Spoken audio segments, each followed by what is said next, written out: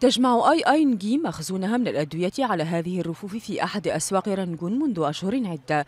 وهذه الصيدلية سبق أن خسرت كل بضائعها جراء حارقين في غضون خمسة أعوام فقررت هذه المرة التأمين على مخزونها وهو أمر لم يعتده البرميون.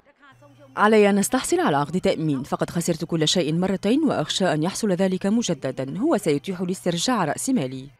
شهد اقتصاد بورما دفعا قويا منذ التحول السياسي الذي عاشه هذا البلد في العام 2010 فازداد عدد السيارات على الطرق وارتفع معه عدد الحوادث المرورية. وهنا أيضا يكتشف البرميون أهمية التأمين وإن لم يتخطى عدد أصحاب العقود 5% من أصل 600 ألف سائق.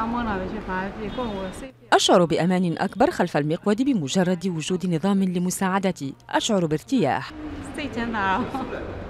حتى العام 2013 كانت الشركة الوطنية التي يسيطر عليها الجيش تهيمن على قطاع التأمين غير أن انفتاح البلاد سمح بظهور شركات منافسة. الفرص هنا هائلة ومن المؤكد أن القطاع سينمو ويتطور.